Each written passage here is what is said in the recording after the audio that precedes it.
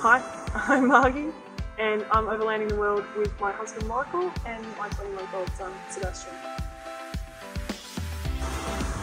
In a previous life, I was a marine scientist. Spent years studying, getting a PhD and working in the field, but we decided it was time for a change. So, when I was 37 weeks pregnant, we sold our house, everything we owned, quit our jobs and turned nomadic. About nine months ago, we left Australia in our 1996 Land Rover Defender, and since then we've travelled about 14,000 kilometres through Timor-Leste and Indonesia. We sleep on beaches, in parks, hang out with the locals, eat the local food, and just try to see as much of the world as we can. We hope that in two to three years we can drive all the way to Europe and the UK. We're prone to mishaps, we've had a few already, we're currently stuck in Yogyakarta because we had one major mishap, but that won't stop us. One thing we're good at is rolling into punches.